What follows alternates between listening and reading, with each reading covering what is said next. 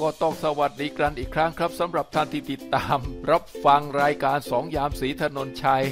คราวที่แล้วก็สนุกสนานกันดีจบลงตอนที่แขกไซบุรีมาท้าชนไก่กับพระศรีถนนชัย พระศรีถนนชัยก็จับอีแรงมาถอนขน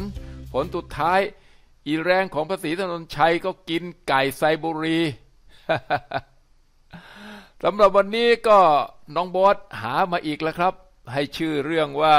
ศรีถนนชัยบวชพระ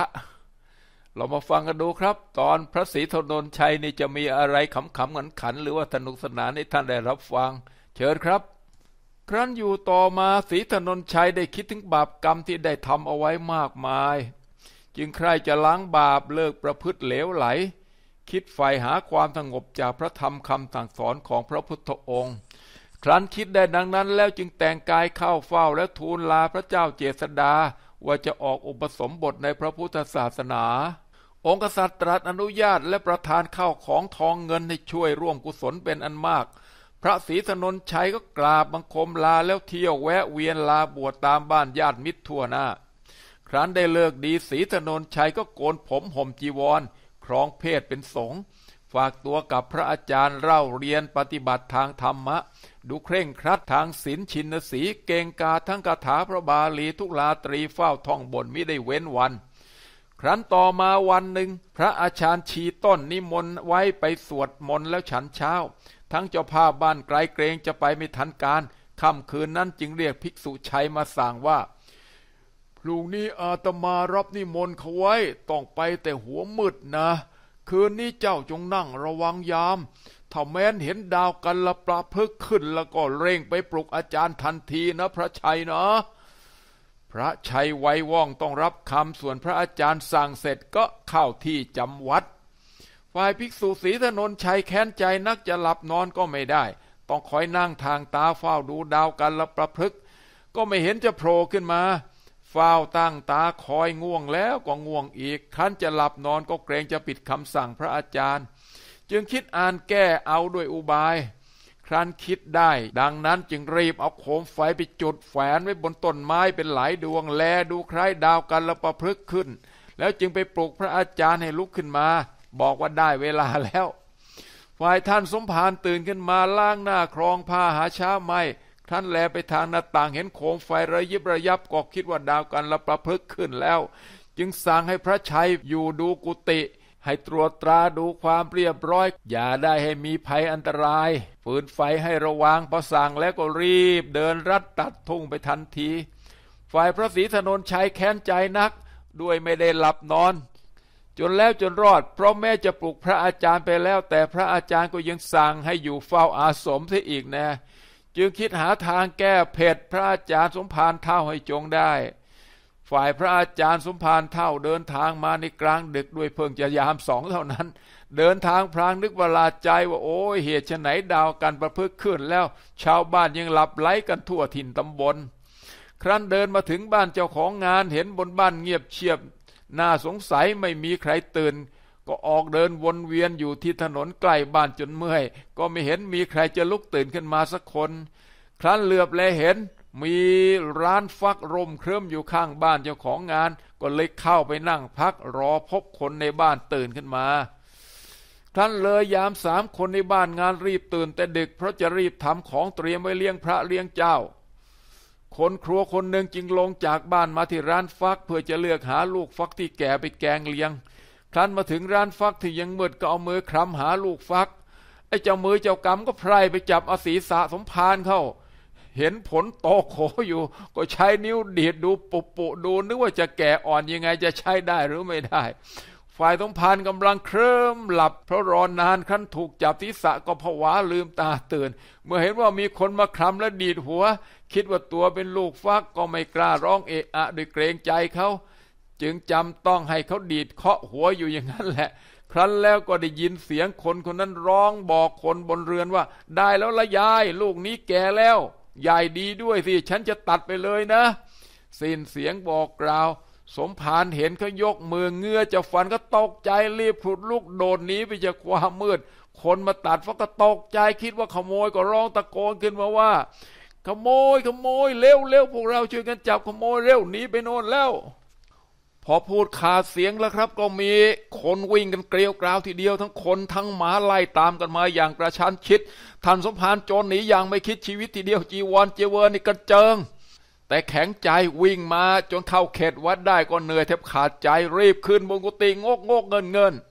ฝ่ายศรีธนญชัยเห็นได้ท่าก็คว้าไม้เข้าตีกระหน่ำไม่นำพาต่อเสียงร้องโอดโอยของท่านสมภารสมภารร้องดินพลาดพลาดแทบขาดใจยกมือขึ้นโบกแข็งใจตะวาดว่า เฮ้ย ไอ้พระชัยยุดยุดนี่สมภารเองนะ พระชัยได้ยินก็ยั้งมือทิ้งไม้เข้าประคอง ให้ลุกขึ้นนั่ง ฝ่ายสมภารเดือดดานใจมันไฟไม่ฟัง ลุกขึ้นยืนแล้วเต้นผางผางร้องด่าว่า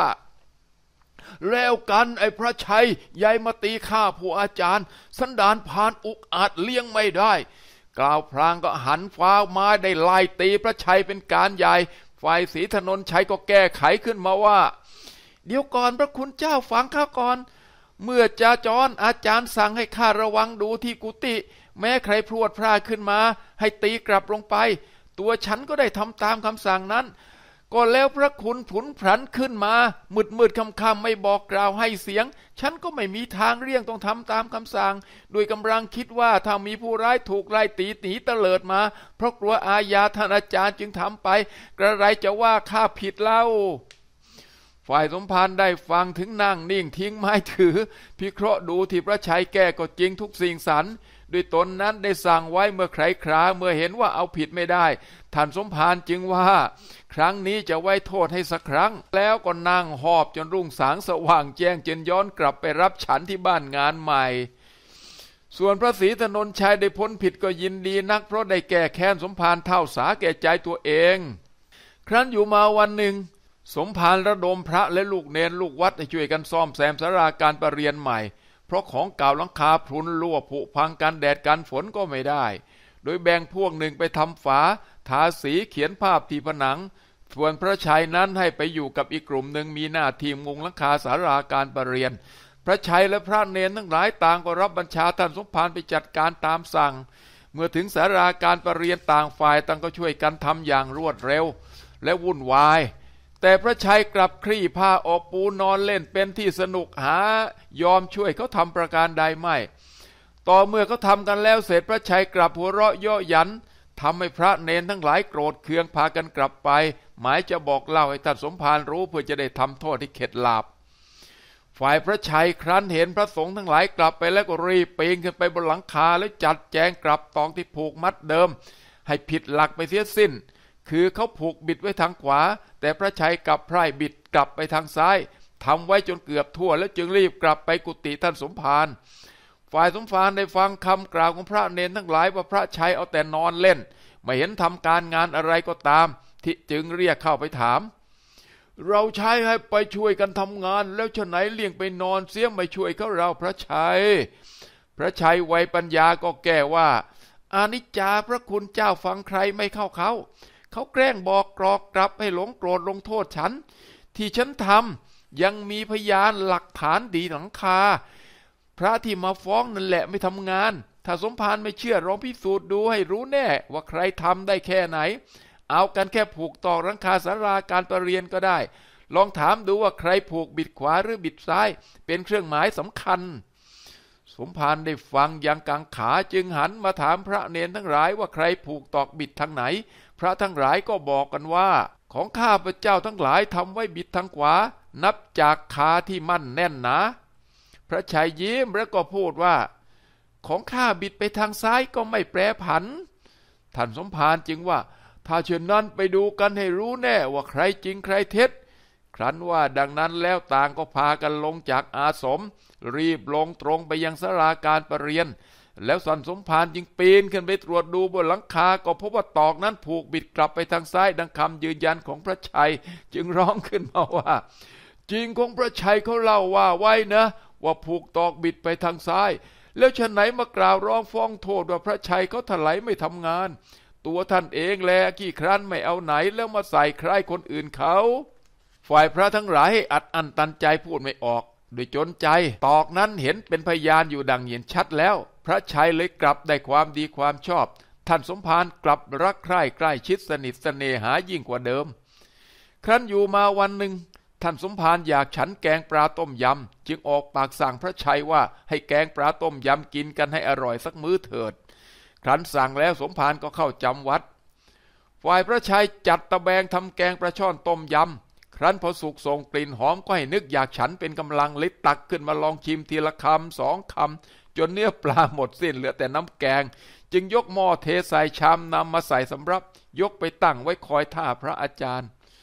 ฝ่ายท่านสมภารอาจารย์ใหญ่ครั้นได้เวลาฉันเพนก็ออกมาฉัน ครั้นตักแกงมาสดดูหลายครั้งไม่เห็นมีเนื้อก็ถามพระชัยว่า เอ๊ะ นี่เนื้อปลามันหายไปไหนหมด หรือว่ายักษ์เอาไปเก็บไว้เสียที่ไหนแล้วนี่น่ะ พระชัยได้ฟังก็ตอบว่า ไอ้มแมลงวันมันกินหมดนะพระคุณท่านฝ่ายท่านสมภารแสนเขาเบาใจไม่ได้คิด ให้มีจิตแค้นมแมลงวันนั้นนักจึงสั่งพระชัยว่า คอยมือไม้เตรียมไว้ ถ้าไอ้มแมลงวันมันมาเกาะที่ไหนแล้วก็ให้ตีได้ทันที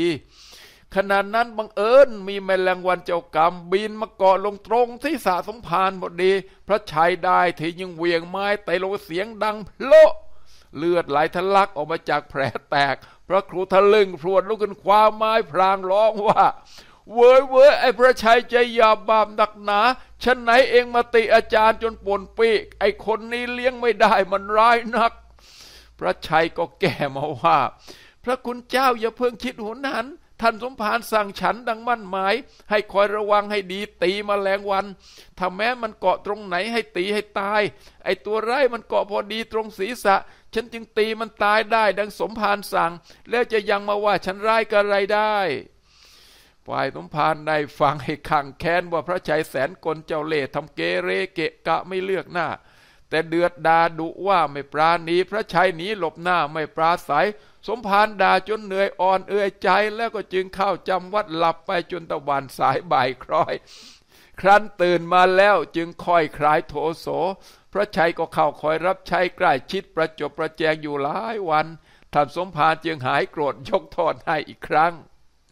ก็คงจะต้องเอาสักแค่นี้ก่อนนะครับ ตอนหนึ่งตอนหน้าค่อยว่ากันใหม่เป็นตอนที่ศรีถนนชัยบวชพระเป็นตอนที่สองเอากันพอประมาณครับฟังกันเพลินๆจะได้ไม่เบื่อ โชคดีสวัสดีทุกท่านพรุ่งนี้พบกันใหม่สวัสดีครับ